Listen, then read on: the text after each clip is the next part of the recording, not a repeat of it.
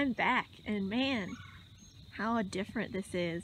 This must be high tide because there's water up here. Tons more than there was last time I was here.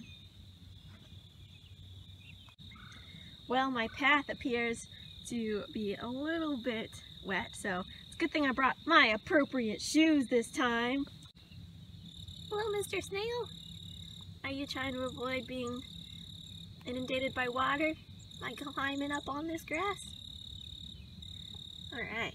Oh, you got some friends doing the same thing. Hello!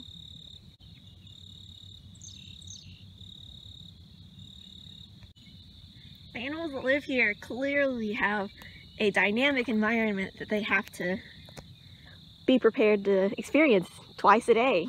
You have this high tide and then low tide and then again later on high tide and then low tide. So you can't exactly just get used to not being uh, underwater like this pickle grass here. It definitely was un not underwater before when I was here, but now it's, it's just very much underwater. So the animals and the plants have to get used to that. So there's only certain kinds of animals and plants that can really survive out here. There's also some animals like some of the birds that come in at low tides and then they can grab food, but they're not around right now because they don't really want to mess with all this uh, deep water.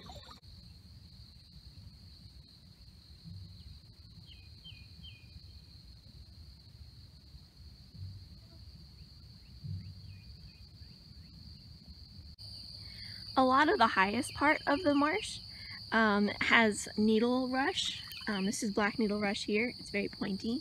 We also have a lot of wrack line um, of that dead cordgrass. The cordgrass though is a little bit closer to the water and you can't see it very well but it's some of that stuff that's kind of sticking up from the ground um, or from the water itself.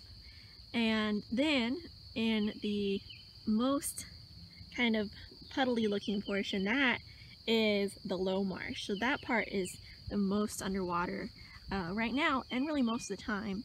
And you see different animals and different plants in each section because of the amount of water they get.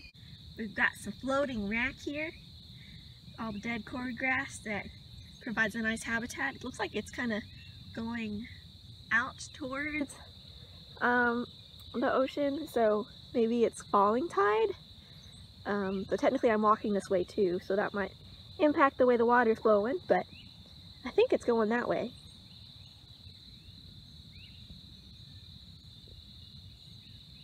Okay, I stopped walking, so look at how fast that water is moving back out towards the ocean. So tide must be falling, and maybe, I don't know, like an hour or so, sometime soonish, this area will uh, no longer be underwater and be starting to get kind of dry again and then waiting until the next time the tide goes in, comes in.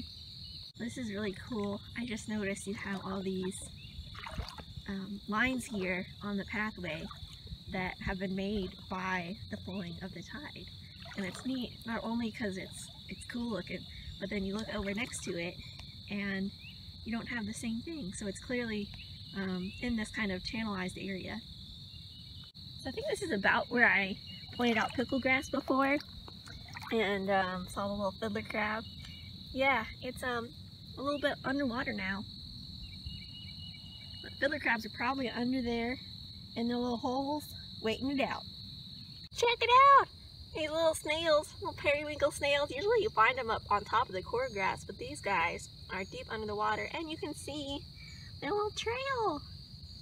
He has gone a long way. Oh, sorry, you can't see very well. Oh, wait, that's a different one. This is the one. He just made that trail. He's at the end of the trail, so he went at least from that guy over to here. Good job, little buddy. Kind of sad I didn't see any fish um, out here, but I guess they know better than I do, and if the tide is falling, they know they need to get out of here before they get stuck on the dry land.